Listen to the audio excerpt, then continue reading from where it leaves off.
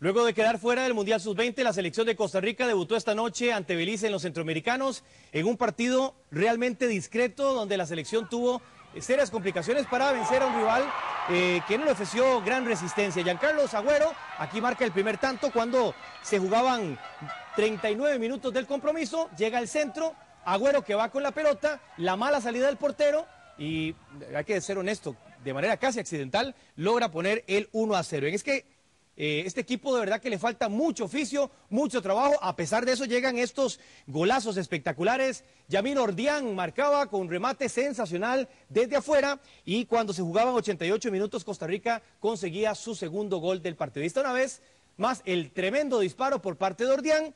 Y antes de que terminara el juego, sobre la hora, va a aparecer William Fernández para marcar el definitivo 3 por 0 con un discreto 3-0, hay que ser honesto, la selección de Costa Rica pues ha debutado en los centroamericanos eh, con este triunfo ante Belice.